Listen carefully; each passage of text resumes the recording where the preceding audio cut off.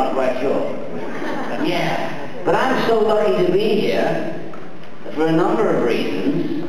I had no idea that you weren't able to turn left on a red light here.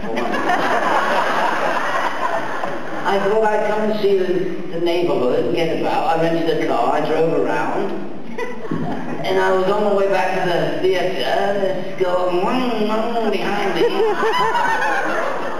Guy was 12 foot 7. That idea well, you better have a good excuse for not stopping.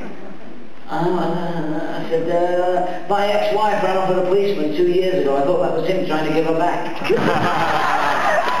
no sense of humor.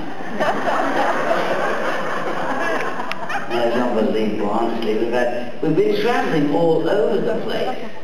We've been, you know, the Monkees Show went to about 30 countries around the world.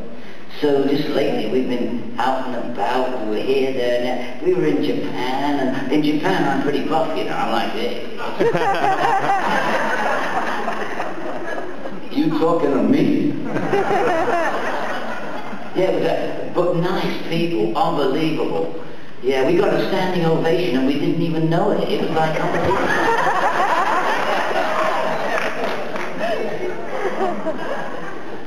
yeah. And then I, know, I really didn't make it as well before the car incident because I got a call from my ex-wife. Problems, okay, all the way from England she calls me and tells me that something happened. You know, I have four beautiful daughters, all girls. My youngest one, you know, she's, she's, you know, 20, so, I don't know, she's discovering all kinds of things. And unfortunately, the mother found some pornographic material in her room, you know, and whips and chains and handcuffs and all kinds of stuff. 3,000. What, what, she said, well, what should I do? What would you do? I said, well, I suppose a spanking is out of the question.